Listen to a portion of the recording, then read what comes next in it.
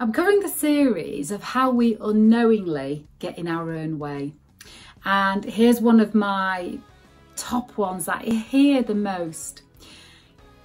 And it's about us daring to dream big enough. That we unconsciously normalize ourselves, we unconsciously harmonize. We in your heart are um, passions that you've got for things that you want to experience in life. So I think what happens is that we um, think about, well, what do I currently know? What and how to do? What's my current ability and skill set? And then we predict, well, what's a reasonable goal and an outcome for that? And there is nothing wrong with that. I just think that there might be more inside you that you would like to ignite and have as part an experience as part of your life. So, here's a question that changed my life not to barely recognizable, but to unrecognizable, which is what would you do if you knew you couldn't fail?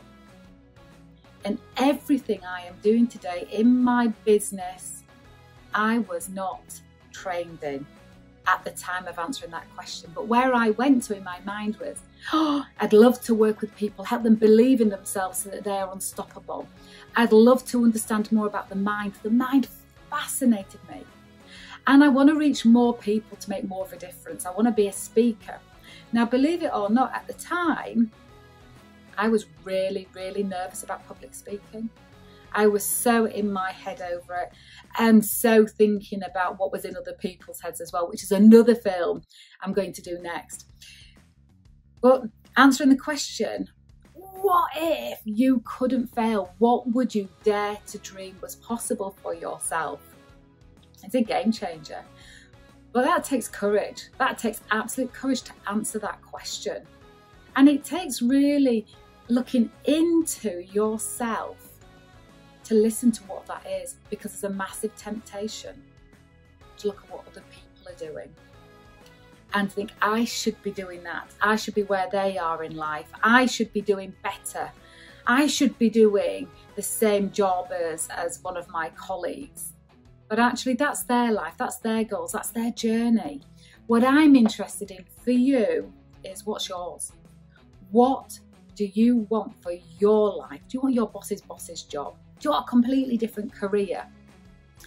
Do you want to have more exciting hobbies? Do you want a more connected relationship? Do you want a, a big family around you? What is it that you want? What is it that makes your heart happy? Because we have thoughts, feelings, actions. So everything we do is to create feeling. What is that feeling and what is it you're experiencing? So I want you to dream big you know, you can put a big cross through it afterwards, but I want you to have um, an understanding, clarity over what it is you really want. I want to blow that roof off that limited thinking that we have set in our mind. Just from people saying to us, I don't want you to be disappointed or keep your feet on the ground or who do you think you are? The higher, the higher you climb, the harder you fall. You know, all those belief systems. And so they then, in, in time, just become our normal thinking. And then it takes somebody like me, a coach, to come along and say, What do you really want?